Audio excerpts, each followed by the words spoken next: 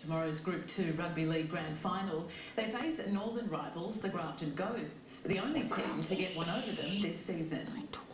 They were spooked in the major semi-final before finally showing their dominance. But tomorrow the Comets won't be giving their rivals any openings. We've done a lot of um, sessions on, on Grafton and how we're going to hold ourselves. Um, but we do we do know that we've got to be physical. We've got to get out there and, and not start the game like we did last one. So I think the the boys do know that. Both teams know they'll need plenty of discipline when they meet and have identified their biggest threats while working to shore up their weaknesses. Grafton cleaning up in the halves and adjusting its attitude. They need to complete uh, all their little one percenters, you know, uh, especially in grand finals, you know. They, they do it well when they're on a roll and they get rolling and then use their left side of the field a lot with Danny Weeks and Dylan Collett. They're very strong out there. Coffs is fighting for its second straight premiership.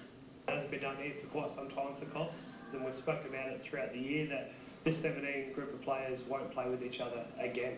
So it, it does mean something. It's a big task in, in rugby league from NRL to uh, your country rugby league levels, you know.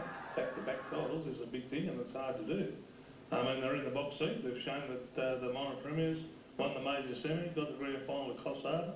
They just got to finish the uh, polish off the trophy at the end of it. The Ghosts looking to break the hoodoo hanging over them. The little statistics for Grafton have never won a grand final away from home either. So, you know, that's something they want to prove too. So, uh, yeah, they got, they got a lot to play for. Grand final day kicks off at Geoff King Motors Oval at 10 o'clock with the ladies league tag, followed by 18s, reserves and first grade at 2.45.